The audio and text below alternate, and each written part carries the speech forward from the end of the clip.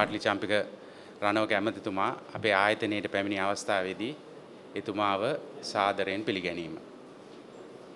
ඒ පිළිගන්න ගමන් එතුමාගේ අවධානයට මම ගෙන්ඩ ඕන කාරණාවක් ම දන්නවා නොනිසි අවස්ථාවක මේ කිව යුතුයි ලැබුණු අවස්ථාවේදී මෙම අමාත්‍යංශය වෙනත් ආයතනවල වගේම නමුත් දැන් ලෝකය බොහොම සංකීර්ණයි ලෝකයේ විවිධ ස්ථානවල විවිධ ආකාරයේ දේවල් නිෂ්පාදනය වෙන්නේ ඒ නිසා මේ ලෝකයේ විවිධ රටවල් අතරත් අපේ රට ඇතුළෙත් අපට ප්‍රමිතියක් අවශ්‍ය වෙනවා අපේ ආර්ථිකයේ ජීවන රටාව ඉදිරියට ගෙනියන්න.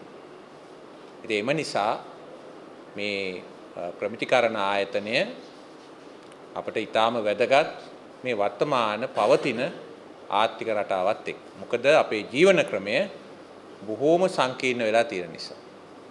අපි කුඹුරු ගොවි තැන ගත්තොත් ගෙදර ඇත්තෝ එකතු වෙලා කුඹුරු ගොවි තැන් කළා. උදැල්ලක් නගුලක් අවශ්‍ය නම් ඒක ගමේ කම්හලෙන් අපි දන්න කම්මල් කරුවගෙන් ඒක සපුර ගත්තා. ඊළඟට ඒ ගමේම අය තමයි එකතු වෙලා කුඹුරු කෙටුවා නම් අස්වනු නෙළුවා නම් මේ හැම කටයුත්තක්ම කළේ. ඒ කළේ ශ්‍රමය මත. අත්තං ක්‍රමයට සාමූහිකත්වයෙන් කවුරුවත් ඒ සඳහා මුදල් ඉල්ලා සිටියේ නැහැ. ඉතින් එතන කවුරුවත් ප්‍රමිතිය බලන්න ගියෙත් නැහැ. එම නිසා විශ්වාසයත් සංස්කෘතික බැඳීමක් තමයි එතන ප්‍රමිතිය වුණේ. දැන් මේ මෑතදී නිකුත් වුණා ලෝක සෞඛ්‍ය සංවිධානයේ වාර්තාව රජරට ප්‍රදේශයේ පැතිර පවතින වකුගඩු රෝගය ගැන. ඒ වාර්තාවෙන් බොහෝ පැහැදිලිව කියලා තියෙනවා අවුරුදු 15ත් 70ත් අතර අයගෙන් 170 අවුරුදු 15ත් 70ත් අතර අයගෙන් 15කට වකුගඩු රෝගය වැළඳිලා තියෙනවා. ඒකට ප්‍රධාන හේතුව පොහොර සහ කෘෂි රසායන ද්‍රව්‍ය නිසි ප්‍රමිතියකට නැතුව රටට පැමිණීමත් නිසි ප්‍රමිතියකට අනුව ඒවා නොයදීමත් නිසි ප්‍රමිතියකට අනුව ඒ කටයුතු රට තුළ සිදු නොවීමත්. නමුත් එයාට පෙනී ගියා කාලයාගේ ඇවෑමෙන් ඒ රොබින් කුරුල්ලාගේ හඬ වසන්තයේ ඇහුන් නෑ කියලා. විද්‍යාඥවරයක් හැටියට මේකට හේතුව හොයාගෙන ඇය ගියා. ඇය දැක්ක මේකට හේතුව කෘෂි රසායනයක් ලෙස භාවිතා කරපු DDT බව.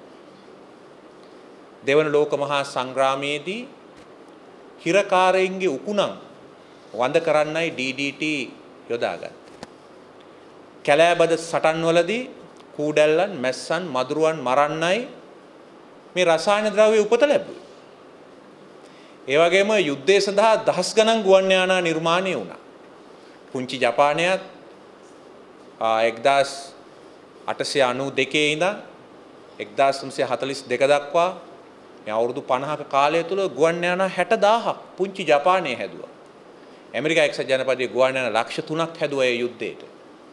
ඒ යුද්ධෙන් පස්සේ ඒගොල්ලන්ට ගුවන් යානා වලට මොකද කරන්න කියලා ප්‍රශ්නයක් ආවා. ඉතින් ගුවනින් රසායන ද්‍රව්‍ය ඉසුවා තිරිඟු වගාවට, ඉරිඟු වගාවට, කුෂි කර්මාන්තයට. ඉතින් යුද්ධයේ අතුරුඵලයක් හැටියට ආපු ගුවන් යානාත්, යුද්ධයේ අතුරුඵලයක් හැටියට ආපු රසායන ද්‍රව්‍යات කුෂි කර්මාන්තයේ යෙදුණා.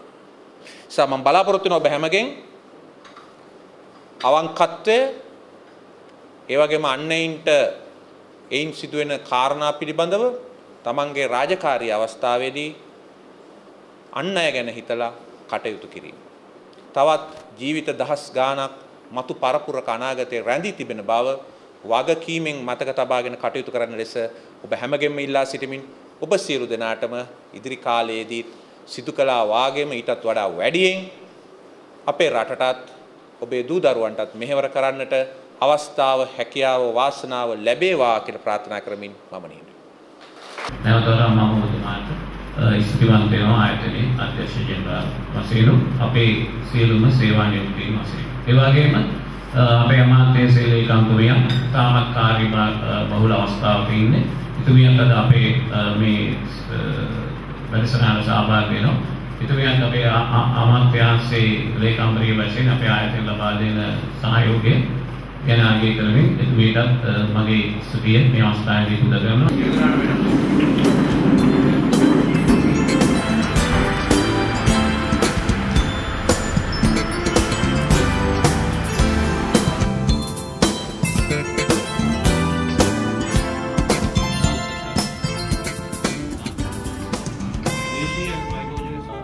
pun untuk dapat itu akhirnya kita dapat itu jadi kayak lo lebih paripang ribu yang tinggi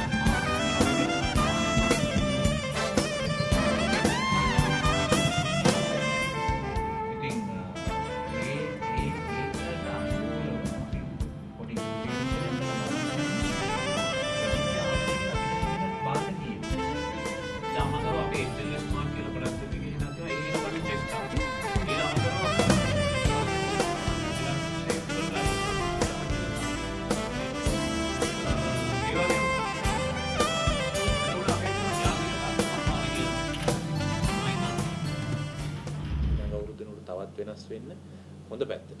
අ, අපි හැම කෙනාම අදිෂ්ඨාන කරගන්න ඕනේ. ඉතින් ඒ ගැන අපි බලනවා ඔබතුමාලගේ මේ ප්‍රගතිය කොහොමද වෙන්නේ ඒ අනාදී කාරණා මෙතන අපි බලනවා. අ, විශේෂයෙන්ම මේ මූල්‍යමය වශයෙන් ස්වාධීනත්වය ලබා ගැනීම අත්‍යවශ්‍යයි. අ, වැඩිපුර ආදායම උපයා ගන්නත් ඕනේ ස්වාධීනත්වය ලබා ගන්නත් ඕනේ භාණ්ඩාගාරේ නිදහස් වෙන්නත් ඕන. අ, ඒක තමයි.